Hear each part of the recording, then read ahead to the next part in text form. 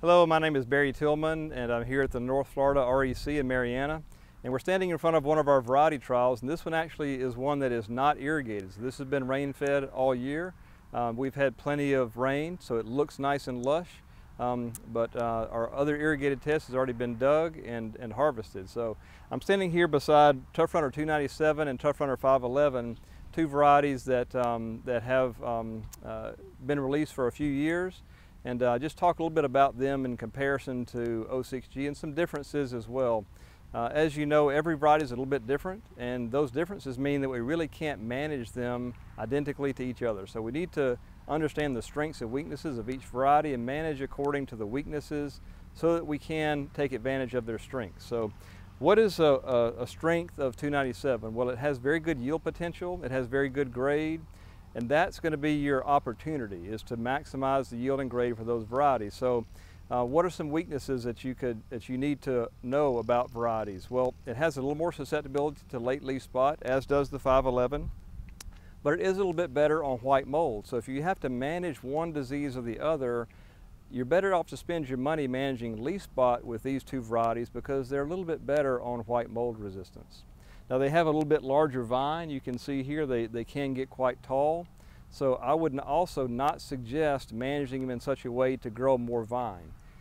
Whereas the common variety we grow today, Georgia 06G, has a little bit smaller vines, so a lot of growers will fer fertilize more or try to promote vine growth to get the canopy to cover sooner. You don't need to do that with 297 or 511 they're going to produce plenty of vine regardless. So you might even save a little bit of money there on your fertilizer if you're trying to fertilize or promote vine growth with other products. So one thing to, to note there. Um, they also have pretty good seed vigor. Their seed size is large like 06G, so you're going to have uh, roughly the same seeding costs. That's not going to be true with some of the other varieties I'll talk about in a minute uh, that have smaller seeds. So that's another advantage of, the, of some of the newer varieties that have smaller seed. You wouldn't need as much um, seed per acre, pounds per acre, to get the same plant stand. So I'm standing here by two other varieties, the Georgia 12Y and the FloRun 331. And these two varieties are two of the most disease tolerant that we have. Uh, if you look at the Peanut RX, and I have a copy here of the variety part of the Peanut RX, and just so you know, that's the best place to find the relative tolerance of varieties um, on average across all of our growing area in the southeast is this peanut RX uh, data. Now 12Y has really good um, white mold and spotted wilt resistance and um, and it is it's a candidate you could use for planting early if you wanted to, to have a, a situation where you knew you're going to have higher risk for spotted wilt that would be a good candidate to, to plant.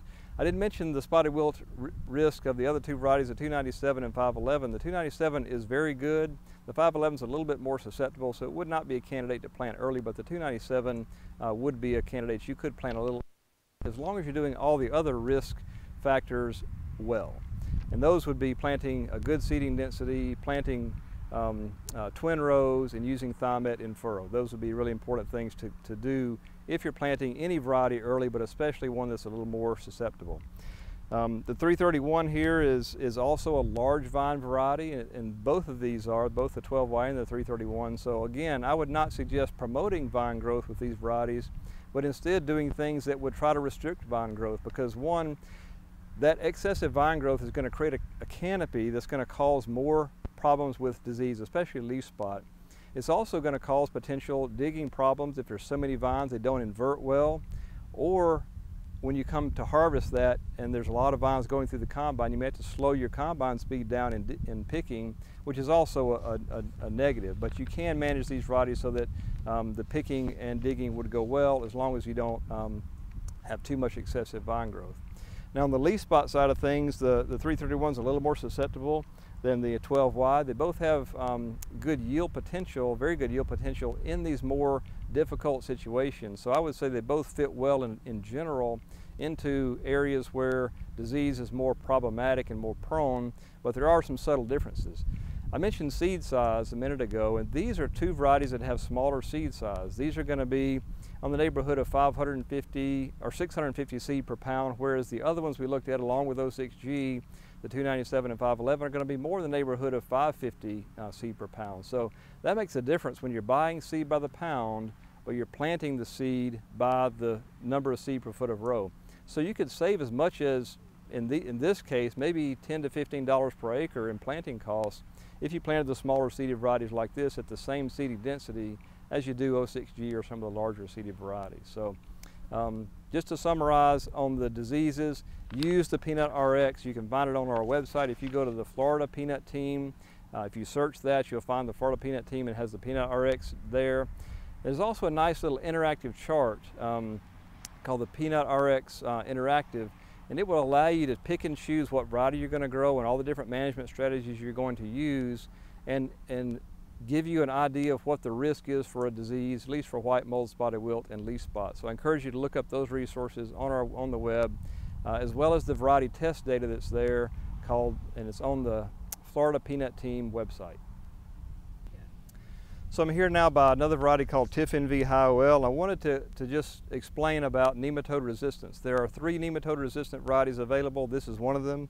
This is the newest one. The other two is, are TifGuard and Fort Georgia 14N. So if you have a problem with nematodes, this is one of the very best tools you have to manage a nematode problem.